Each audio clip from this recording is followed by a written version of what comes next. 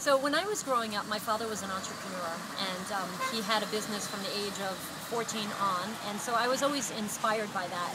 But I kind of went through the normal um, venues that people go through, you know, going to college and trying to get a job and everything. But I always dreamed about starting my own business, and I always thought, well, I'm not smart enough, I'm not talented enough, um, I don't have any good ideas. And as I get older and you know had children, I didn't work for a while inside of me was building up this passion to do something on my own. And um, so now I have my own practice and I'm building up my business and it's becoming very successful.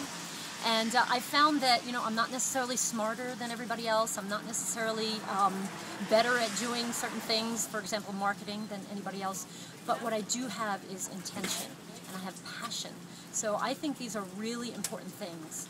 Um, my father said to me, he said, um, there's always going to be someone who's smarter than you and better than you and, and doing working harder than you but the way that you become really successful in business is with intention with a passion and a desire and a real sense of purpose for what you're doing is important to you and and you're going to get out there and help people and make a difference in the world. And it's just so unbelievably exciting to, to be able to do that and to be able to um, to fulfill your passion and to reach people with your with your message.